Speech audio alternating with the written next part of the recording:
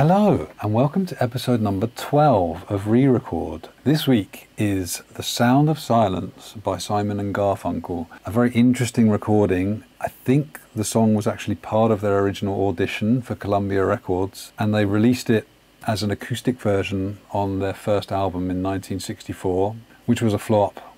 And they went back to university and forgot about it all. Then a year later, it started getting some radio play. So, without telling Simon and Garfunkel, uh, Tom Wilson, the producer, added drums and guitars and bass to their original acoustic version and re released it, and it became a hit. And they didn't even know. And the rest is history. Anyway, interesting. I also have the covers for my new album printed. I did them on Monday and Tuesday. Completely destroyed my back screen printing, but they look really cool. So these are ready. Pre order a copy, click the link below, and subscribe to my channel while you're at it. Amazing. I will love you forever if you do.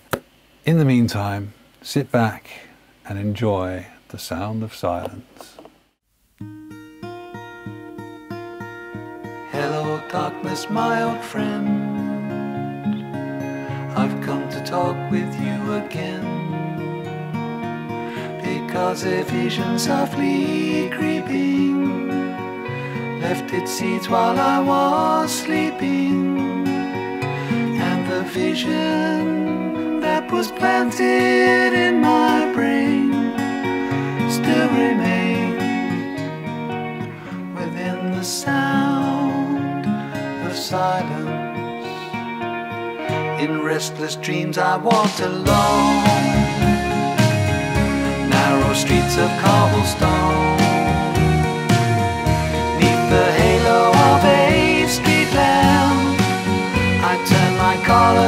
Collar cold and damp. When my eyes were stabbed by the flash of a neon light that split the night and touched the sound of silence.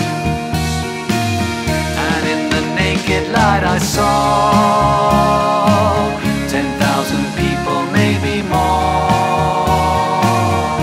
People talking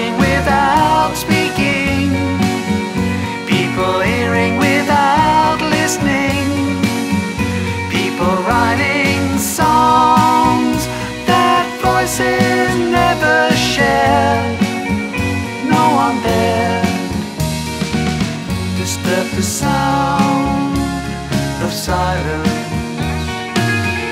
Fool said I, you do not know. Silence like a cancer grows. Hear my words that I might teach you. Take my arms that I might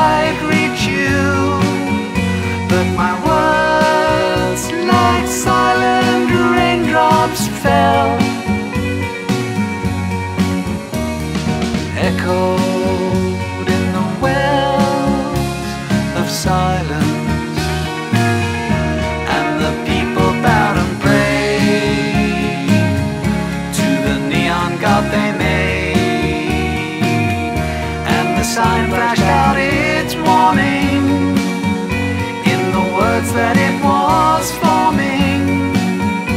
And the sign said the words of the prophet are written on the subway walls and tenement halls, whispered in the sounds of silence.